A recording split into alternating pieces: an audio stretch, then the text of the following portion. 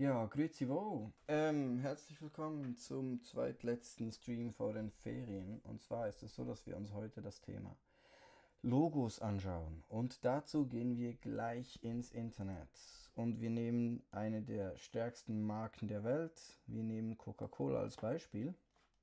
Das noch ein größer machen vielleicht. Kann man das größer machen? Oder ist das falsch nicht Das hier wollte ich vergrößern. So, also wir gucken uns Coca-Cola an. Und das Lustige bei Coca-Cola ist, ähm, dass es mehr oder weniger das Logo von Anfang an behalten hat. Also wenn wir hier sehen, 1887, hä? das ist unendlich lang her. Ich meine, 1887, what? Okay, ähm, seht ihr, es sieht mehr oder weniger schon so aus wie heute. Was äh, vielleicht wichtig ist zu sagen, dass zuerst war es äh, nicht farbig. Das hat damit zu tun, dass äh, farbig zu drucken sehr kostspielig war früher. Ähm, und deswegen waren Logos meistens auch schwarz-weiß, weil man es dann ja einfach mit Tinte gedruckt hat. Genau, man hat vielleicht ein bisschen die Verzierung geändert, mal ein bisschen fetter, mal ein bisschen dünner, mal ein bisschen mehr geschwungen, aber grundsätzlich bleibt das Logo gleich. Dann in, in den 60er, äh, ja, 1960 in den 60er Jahren ähm, kam dann die Farbe dazu, das heißt, es wurden Druckdinge äh, erfunden, dass man Farbe überhaupt drucken kann. Und dann 1969 kam hier diese Designwelle dazu, das heißt, es ist nicht nur die, die Schrift als Logo, sondern es gibt auch äh, Designelemente dazu. Und dann in den 1980ern ähm, kam dieses Klassik, ich glaube, es war ein Streit mit was besser ist, Cola oder Pepsi. Und dann äh, hat Cola irgendwie das Rezept angepasst und das äh, passte den Leuten nicht mehr und hier kam wieder Klassik. Aber das ändert eigentlich nichts am Logo, es ist nur einfach eine andere Sache. Hier kamen dann ganz viele Details, weil der Digitaldruck kam auf 2003. Das heißt, man konnte unendlich viele Pixel drucken und dann hat man auch gespielt mit verschiedensten Farben und Verläufen und so. Aber dann spannenderweise 2007 kommt man wieder zurück zum Schlichten. Und wir werden das bei vielen Logos feststellen, dass es eine ähnliche, ein ähnlicher Verlauf war. Wenn man zum Beispiel jetzt vergleicht mit der ähm, mit Pepsi, äh, ähnliches Logo zu Beginn, auch hier dieses geschnörkelte, verzierte. Ähm, und dann irgendwann kamen die Farben dazu und äh, die vielen Details. Und dann spannenderweise wird es später wieder einfacher, bis es zum Schluss, kann man da das zeigen, Pepsi, Coca-Cola, bis es zum Schluss heute wieder ganz schlicht aussieht. Ich meine, seht ihr, hier ist das Ding hier dreidimensional, es hat ein Licht und einen Schatten und so, aber dann plötzlich wird es ganz flach. Und das sehen wir zum Beispiel auch bei den ähm, App Icons Evolution. Gucken wir uns an, wie die Apps sich äh, entwickelt haben. Das ist eine ähnliche Geschichte. Also ihr seht, ähm, als man begonnen hat, hat man äh, Freude gehabt, ja, ich kann hier einen Verlauf machen, ich kann hier Schatten machen, ich kann hier Licht machen und Glanzeffekte und all das. Aber dann plötzlich wird es wieder einfacher. Seht ihr das? Es, es ist nicht mehr kompliziert mit Licht und Schatten, sondern es wird wieder ganz schlicht. Auch hier gibt es ein, zwei, drei, vier verschiedene Farbflächen, das ist eine andere Farbe. Hier kommt noch ein Glanzeffekt und hier ist dann einfach eine Fläche und eine dunklere Fläche darunter. Also ganz simpel. Und dann Android 6.0 seht ihr hier unten, finde ich noch lustig. Hier versucht man alle Logos mit diesem Play-Button zu machen, weil man wahrscheinlich irgendwie dieses, äh, dieses Prinzip hier durch alle Apps durchmachen äh, will, dass, dass man bei allen Apps sofort sieht, es ist von der gleichen Firma. Auch hier, wenn ihr euch das anguckt, ähm, und das schnell rufen, genau. Äh, genau dasselbe Prinzip, also von kompliziert hier zu wieder ganz einfach. Und zwar bei jedem von diesen Apps. Das heißt, es ist einfach ein Trend. Und bei diesem Trend springt man dann auf, weil man sagt, oh, unser Logo muss auch Hype und Fresh und Style sein. Ein, ein spannendes Beispiel äh, dafür finde ich zum Beispiel, wenn wir ähm, Icon Insta, Instagram uns angucken. Instagramsta. Und das Instagram-Logo seht ihr mittlerweile ähm, ein ganz einfaches Viereck mit abgerundeten Kanten, ein Kreis und ein weiterer Punkt. Aber wenn wir uns schauen, wie Instagram mal ausgesehen hat, dann stellen wir fest, Instagram Old, mal gucken. Genau, ursprünglich hat es so ausgesehen. Genau. Es ist nicht so, dass die Computer irgendwie zu viel Rechenleistung brauchen, um sowas ähm, zu berechnen. Und ich meine, das war jetzt ein Zwischenschritt. Das ist jetzt ein bisschen vereinfacht, aber heute ist es wirklich, ihr seht, also ich finde das krass, diese Veränderung. Die Formen selber sind äh, einfacher, aber äh, die Farbverläufe vielleicht gerade nicht. Aber das finde ich schon spannend. Also wir können sehen, dass äh, die Logos von einem komplizierten 3D langsam wieder zu einem einfachen kommen. Das ist äh, vor allem einfach äh, Design, Designfragen. Also, was gibt es jetzt für Logos? Wenn wir jetzt selber ein Logo kreieren müssten, dann ähm, können wir nicht einfach, ich mache jetzt ein Logo, sondern wir brauchen ein Produkt. Und ähm, beim Produkt Coca-Cola zum Beispiel sehen wir ähm, in der Schrift selber drin, seht ihr dieses geschwungene, hier dieses wellenartige. Und dieses wellenartige wird quasi, ist die Assoziation von diesem Trinken, von diesem Flüssigen so. Und wenn ihr seht, zuerst war es Coca-Cola, das hat etwas sehr Hartes und äh, ist, hat we wenig mit dem zu tun, was die Marke aussagen will. Die Marke will dieses flüssige Trinken, dieses Style-Element haben und das erste hat es überhaupt nicht so einfach bam, bam, bam und das passt irgendwie auch nicht. Sie haben zwischenzeitlich wieder sowas versucht, hier mit Coke, seht ihr, bam, bam, aber das hat nicht so gut funktioniert, weil das Coca-Cola hat schon einen, einen viel besseren Einfluss. Ihr seht, Coca-Cola hat es weniger verändert, während Pepsi die ganze Zeit wieder was Neues probiert hat. Ähm, nicht alle Marken äh, ver äh, verändern sich die Logos gleich schnell. Ähm, suchen wir zum Beispiel Star Starbucks, Starbucks als Logo. Ähm, auch so ein Beispiel. Das heißt, mittlerweile ist dieses, ähm, dieses Logo hier viel, vielenorts zu sehen. Ähm, auf dem Logo hier ähm, sieht man ähm, keine Schrift mehr, das heißt, das Logo ist jetzt nur ein Bild, ein vereinfachtes Bild. Wenn ihr euch fragt, was das hier ist, das sind Fisch, Fischhinterteile, das ist nämlich eine, eine, eine Meerjungfrau. Ähm, hm. so, können wir das eingeben? Genau, das wäre ähm, äh, mal angucken, ob das irgendwo, ob wir das irgendwo finden. Es ist nämlich, ähm, find, das ist alles nur gezeichnet. Old. Guck, nein. Ähm, wo könnten wir das finden? Gucken wir uns das an. Ah, vielleicht hier. Jetzt mühsam. Wo ist denn das Zeug?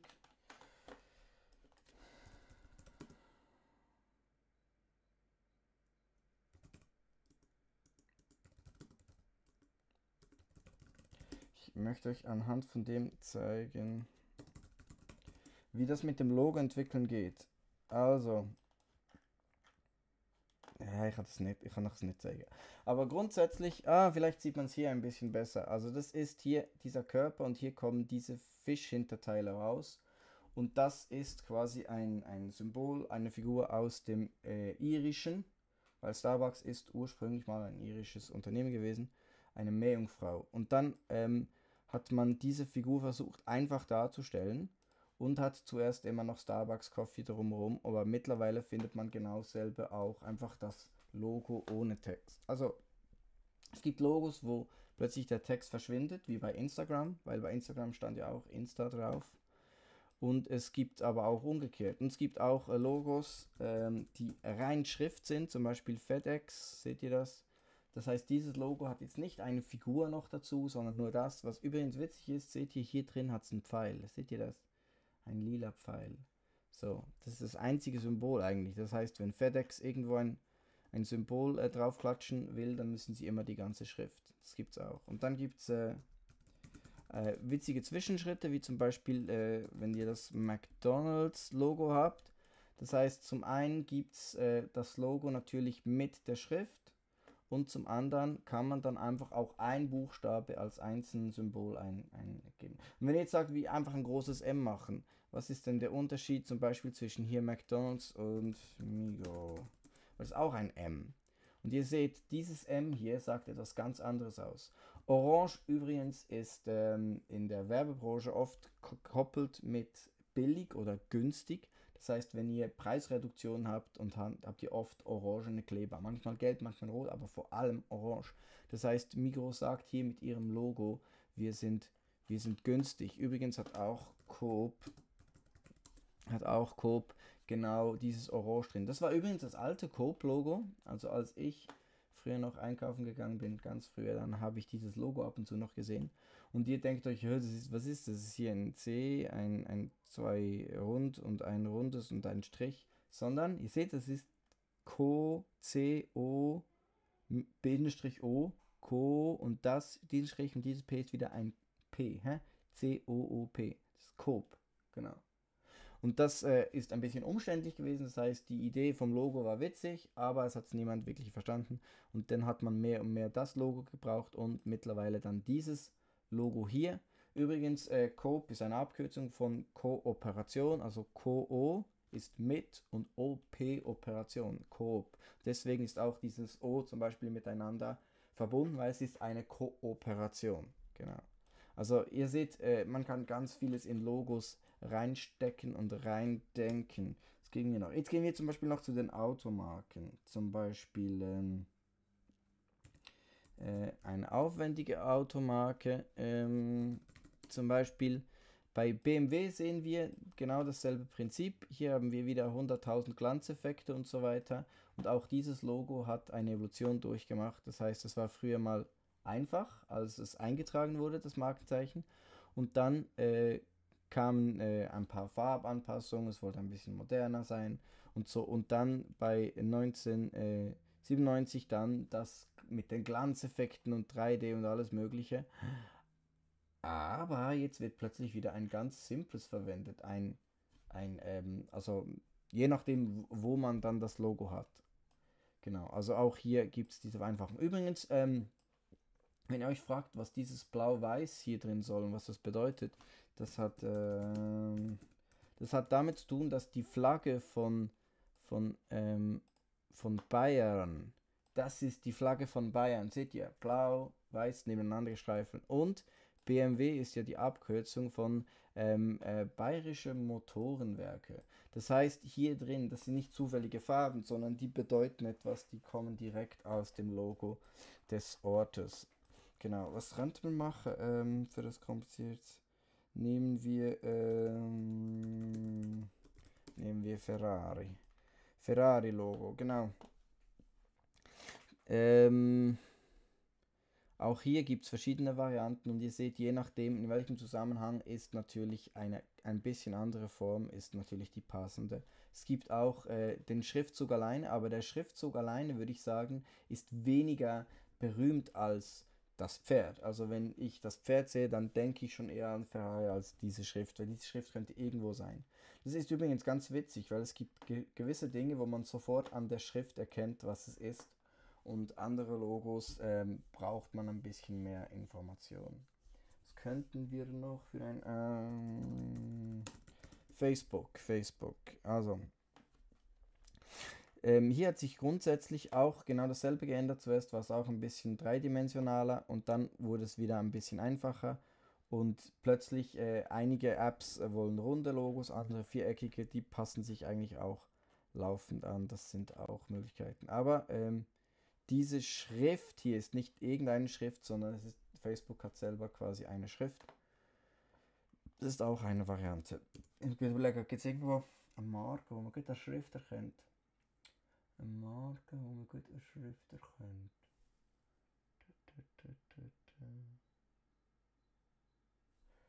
Hm. Schau. Also wenn wir zum Beispiel auch Schrei Zeitschriften haben, wenn wir jetzt hier raufgehen, das wäre jetzt die Seite von Watson. Und das Logo, ähm,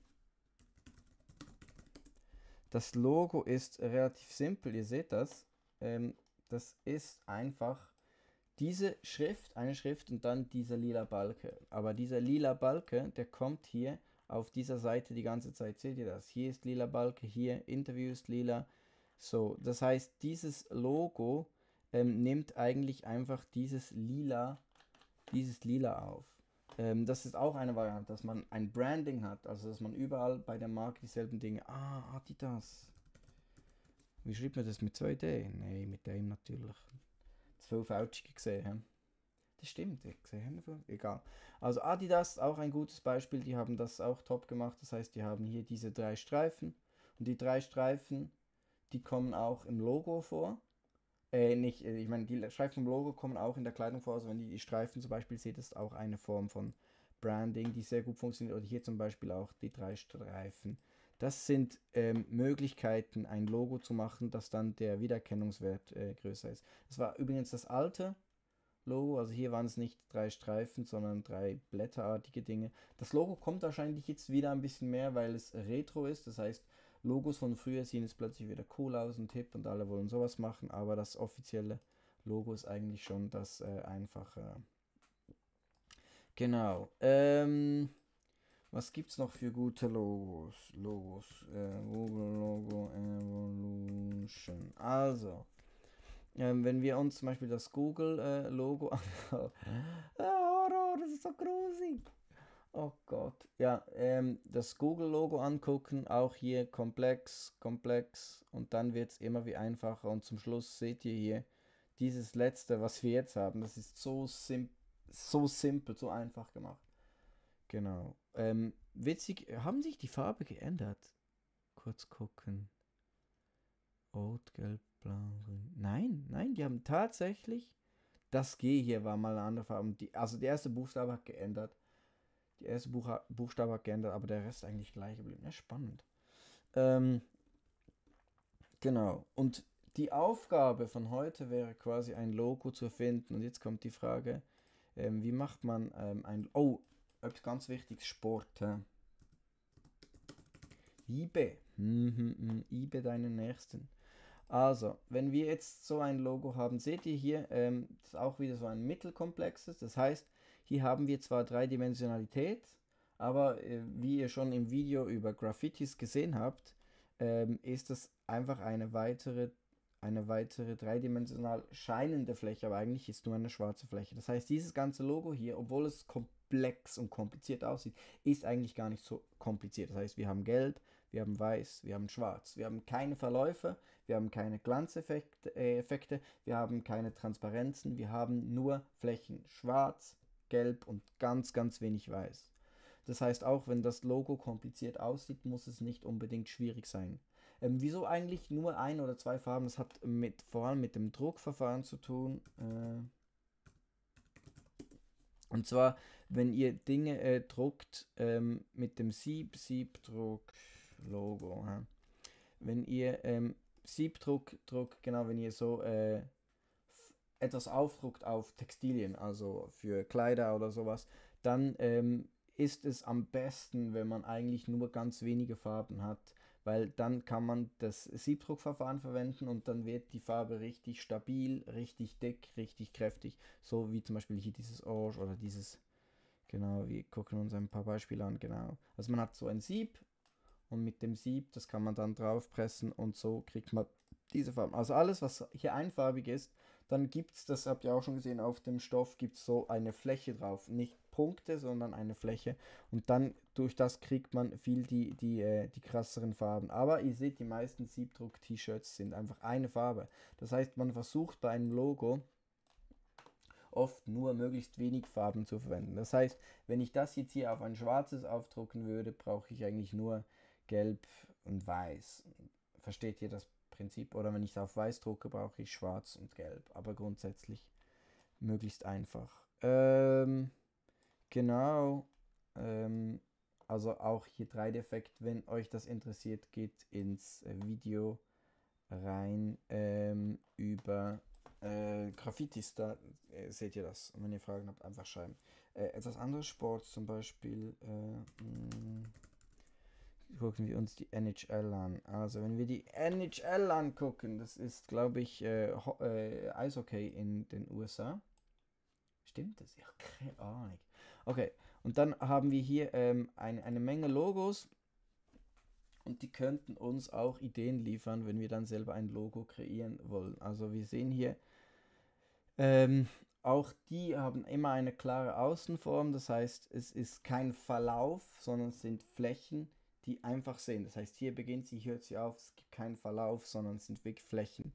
Und die meisten Logos bestehen aus drei Farben. Also das hier wäre zum Beispiel blau, weiß, rot, das wäre schwarz, weiß, rot, weiß, rot, blau, weiß, rot, ähm, dieses rot, weiß, blau, ähm, auch hier schwarz, rot und dieses beige. Also ihr seht ganz wenige Farben. Das ist, glaube ich, auch wichtig, wenn das Logo prägnant und, und so rüberkommen wird.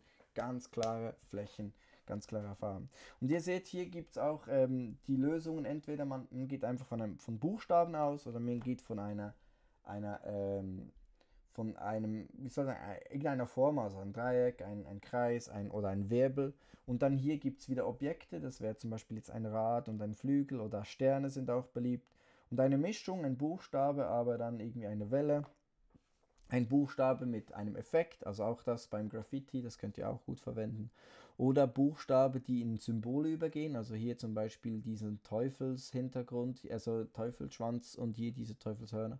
Oder Tiere zum Beispiel, ähm, gibt es ganz viele, diese Säbelzahntiger oder dieses, dieser Pinguin oder dieser Gepard oder was ist nicht, was ist da? Ein, keine Wildcat oder irgendwie, keine Ahnung, Puma, Puma, Puma, Mountain Lion. Genau, ähm, und da, das hat dann damit zu tun, ähm, was dieser Club zum Beispiel für ein Maskottchen hat oder so. Also, wie gehen, jetzt, wie gehen wir jetzt vor? Jetzt kommt die Aufgabe, wir müssen etwas kreieren. So. Das heißt, zuerst brauche ich eine Idee, für was für ein Produkt äh, mache ich äh, das Logo. Das heißt, ich muss entweder ein Produkt finden, das ich cool finde, und ein neues Logo kreieren. Aber das ist schwierig, weil ich lasse mich dann nur äh, ablenken von dem Logo, was es schon gibt. Aber ich kann mir ein Produkt erfinden. Zum Beispiel, ich erfinde, ich erfinde, ähm, keine Ahnung. Ich erfinde. Was könnte ich machen? Honig. Honig. Ich habe beim Kumpel Honig bestellt. Honig. Ich mache jetzt ein Logo äh, für, für Honig. So. Und jetzt kann ich einfach Ideen sammeln. Das heißt, ich mache ein Mindmap, das kennt ihr. Ich überlege mir ähm, Honig und dann kann man das noch ein ähm, dunkler machen. Glaubt man das Beste? Nehmen wir es einfach. Ich, frage das jeden Tag, stimmt das? Also, Honig, Honig, mein Freund. Und dann kommt sofort Biene, Assoziation oder Waben, Bienenwaben oder Topf, Honigtopf und dann Winnie the Pooh. Wie schreibt man da? Pooh, po, Poe, keine Ahnung. Ähm, Honig, was kann noch? Kle kle klebrig. So, äh, Tropfen, Tropfen. So, ich mache einfach ein Mindmap und dann gucke ich mir, zu was kann ich äh, etwas machen. Zum Beispiel, ich würde jetzt, Biene ist so ein bisschen Standard, das kennt man, könnte ich zum Beispiel einfach so etwas machen und auch hier wieder vereinfachen. Die meisten Logos sind sehr vereinfacht, das heißt, man könnte zum Beispiel so etwas machen, Streifen und dann äh, Flügel, sowas zum Beispiel und dann hier Logo. Ja. Logo zum Beispiel. Und dann, ähm, keine Ahnung, wenn ich was mit Waben machen will, dann mache ich hier Sisi 6, muss ich 6. So. Und dann mache ich hier zum Beispiel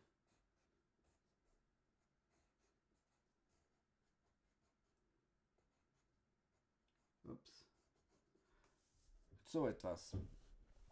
Und dann mache ich ganz viele so einfach spontan Ideen, nicht so lange überlegen. Und dann, wenn ich dann sage, ähm, was mache ich, oder zum Beispiel ähm, Logo und dann mache ich hier, ähm, sorry, Bienenwaben und dann geht es hier zum Beispiel über in einen Tropfen oder so.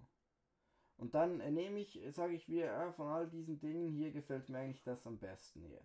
Also überlege ich mir, wie kann ich dieses Logo besser umsetzen. Das heißt, ich mache jetzt eine Sammlung von verschiedenen Möglichkeiten. Das heißt, ähm, ich mache zum Beispiel das mit den gestreiften, so.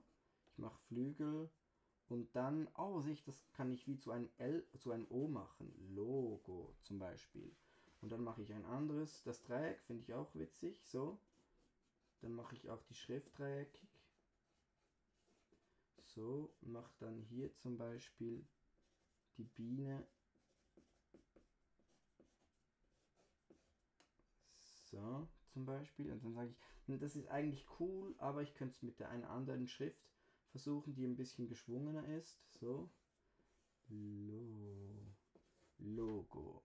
Und dann sage ich, ah, nee, das, das gefällt mir eigentlich, aber ich muss es irgendwie noch ein bisschen mehr geschwungener machen. Und dann sage ich, was wäre, wenn ich das hier hier einfüge? Und dann mache ich ein nächstes, zum Beispiel so, dann mache ich hier dieses G, O und mache hier zum Beispiel diese Biene. So. Ich mache zum Beispiel hier dieses Ding. Und dann macht ihr einfach eine ganze Seite, möglich eine ganze Seite mit 100 verschiedenen Vorstellungen. Und dann könnt ihr am nächsten Tag, ganz wichtig, nicht am selben Tag oder zumindest nicht in derselben Zeit, macht eine Pause, geht, keine Ahnung, äh, nach draußen oder hört Musik oder macht irgendwas anderes und dann kommt ihr zurück und dann seht ihr all eure Ideen an. Und dann sagt ihr, hm, was gefällt mir wo? Und dann sage ich hier, gefällt mir zum Beispiel dieses Element hier. Das finde ich gut. Aber die Schrift finde ich langweilig hier. Da finde ich diese Schrift hier spannender. Und dann könnt ihr zum Beispiel diese beiden Dinge zusammensetzen. Und dann könnt ihr euch überlegen, welche Farben kann ich verwenden. Da kann ich mir überlegen, zum Beispiel hier mache ich ganz klar, das ist schwarz. Und dann hier gelb, gelb, hier weiß. Und dann mache ich zum Beispiel hier noch eine weiße Linie drumherum, um das noch ein bisschen hervorzuheben. Und bei der Schrift, hm, wie mache ich dann die Schrift? Die mache ich dann wahrscheinlich auch ein bisschen fetter. So, hä? Logo, so. Und dann könnt ihr könnt die auch streifen, zum Beispiel so, wie die Biene. So. Aber das ist vielleicht zu krass. Aber vielleicht könnte ich einfach das L gelb machen. Dann schwarz, rot, gelb. Hm. Genau. Das ist die Idee. Das heißt, ihr versucht ein Logo und macht Skizzen, Skizzen, Skizzen, Skizzen und irgendwann habt ihr das perfekte Logo und dann könnt ihr das umsetzen. Und dann habt ihr ein Logo. Also im Normalfall geht das so, das heißt, ein Kunde, wie zum Beispiel diese Honigmarke, kommt und sagen, hey, wir brauchen ein Logo. Und dann kommt der Designer und dann macht er 100 so Versuche, schickt es denen, dann besprechen die zusammen, was gefällt ihnen am meisten. Und dann sagen sie, wir wollen etwas zwischen Variante A, B und C. Und dann äh, macht der Designer das, macht aus diesem verschiedene Vorschläge und dann wird so runtergearbeitet, bis zum Schluss äh, entschieden wird, welches Logo verwendet wird. Und, und das wäre die Aufgabe. Er findet ein Logo, am besten zu einem Produkt, das ihr auch erfunden habt Ihr seid inspiriert von der Natur, von Buchstaben, von Elementen, von irgendetwas. Fröhliches, fröhliches Basteln. Es kann ein, ein Fußballverein sein, den es nicht gibt, oder ein, eine Automarke oder ein, ein Essensprodukt oder eine App.